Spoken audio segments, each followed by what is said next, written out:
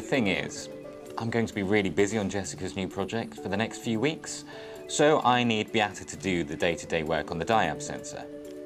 I'm sure she'll be able to stand her ground and deal with the various issues, but if she does have problems, I'm still the project manager, and she knows that my door is always open, apart from when I'm having my lunch break. That's my time. Daniel mentions that he would like me to speak to Clarice about the new requirements. I'm sure I can handle it. I've worked with sub-suppliers and clients on many other projects. And Daniel is always close by in case I need him. Clarice, good to see you. This is Beata. She'll be taking over from me as your main contact on the diab sensor. As you know, Clarice is our main sub-supplier on the project. Her company will be sending us almost all the components. She's almost as vital to the project as I am. No one could be as vital as you, Dan. Very pleased to meet you, Beata. Likewise, I'm looking forward to working with you. I have a meeting room booked. Shall we? How was your flight So, that's the tech side covered. There's just the details of the shipment deadlines to sort out. We need to make some changes. Beata, I'm already late for another meeting. Can you bring Clarice up to speed? No problem. Leave it with me. Great.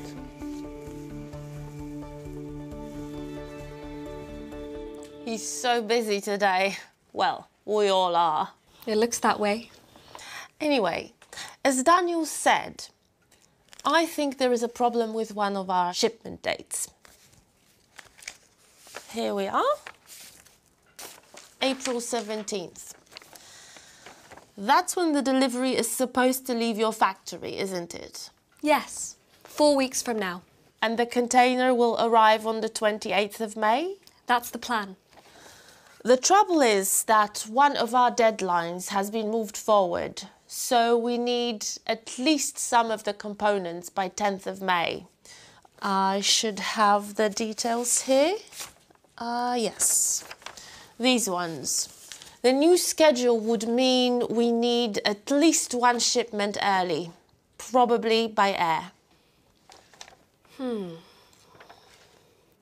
Difficult.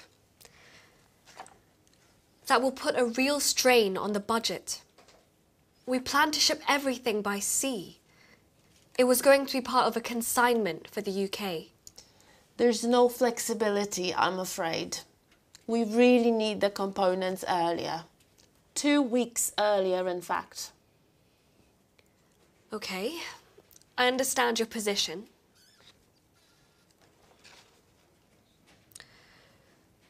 I think we can do it. Just let me recalculate the budget. There'll be additional costs. But is that really our responsibility? The original shipment was due in by the 9th of May. You changed it to the 28th. That was all cleared with Daniel. Arrangements have been made. If we had known otherwise, we would have shipped earlier.